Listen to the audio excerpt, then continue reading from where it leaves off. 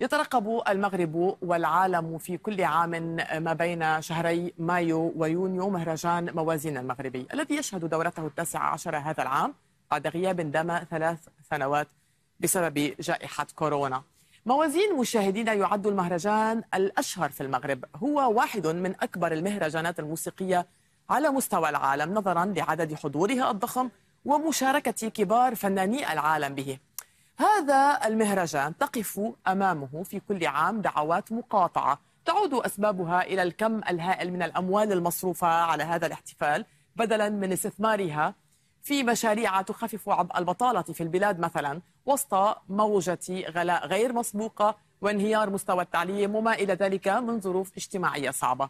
لكن هذا العام زادت دعوات المقاطعة حدة وأسبابها لم تقتصر ما على ما ذكرناه من نواحي اجتماعية وتعليمية وغيرها، السبب هذا العام الحرب الإسرائيلية على قطاع غزة التي اعتلت سلم تلك الدوافع في مسعى تضامني مع أهالي قطاع غزة ومراعاة للمأساة التي يمرون بها من استمرار سقوط الشهداء والجرحى ومشاهد الموت اليومية. ليكون شعار المقاطعة هذا العام لا ترقصوا على جراحهم وهو وسم اجتاح منصات التواصل الاجتماعي نستعرض بعض من بعض من تفاعلاته. هنا رشيد عثماني في انتقاد للمهرجان يعلق. هنا رشيد عفوا.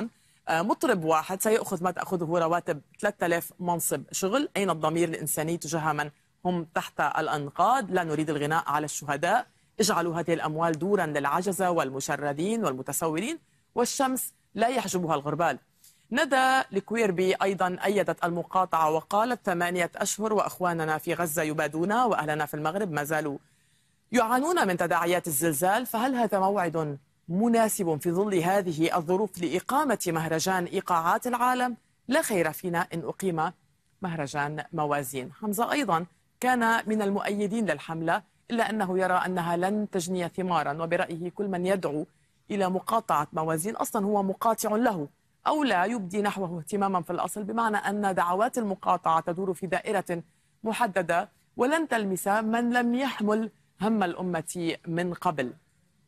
لكن لكن لم تقتصر حملة المقاطعة الشرسة لمهرجان موازين على الواقع الافتراضي. إذ دخلت على الخط شخصيات سياسية على أرض الواقع منهم الأمين العام لحزب العدالة والتنمية ورئيس الحكومة المغربية السابق عبد الإله بن كيران الذي أطلق النيران على المهرجان بوصف إقامته عيبا وعارا معتبرا أن الوقت غير مناسب للاحتفالات مثل موازين بالتزامن مع العدوان الإسرائيلي على غزة.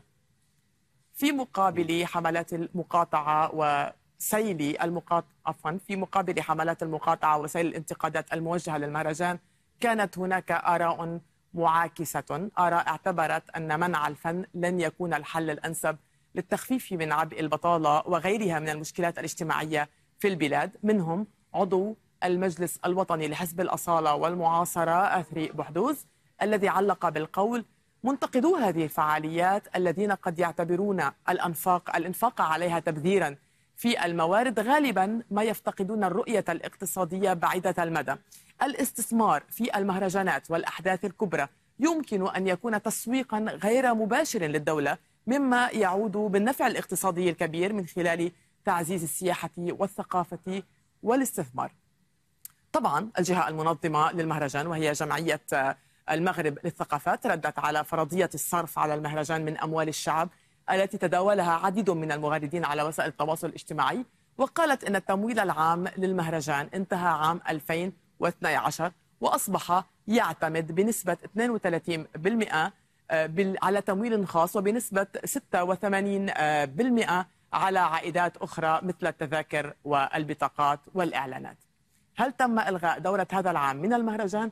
جدير بالذكر مشاهدينا أنه ووسط هذه الإجراءات الآراء كلها تجري الاستعدادات لإطلاق النسخة التاسعة عشرة من مهرجان موازين إيقاعات العالم بشكل طبيعي حتى اللحظة حتى أن إدارة مهرجان موازين لهذا العام أعلنت عن نفاذ التذاكر من المواقع الرسمية خاصة التي تتعلق بحفلات النجوم التي سيعتلون الذين سيعتلون منصة مسرح محمد الخامس بالرباط والتي يكون عددها محدودا مقارنة ببقية المنصات.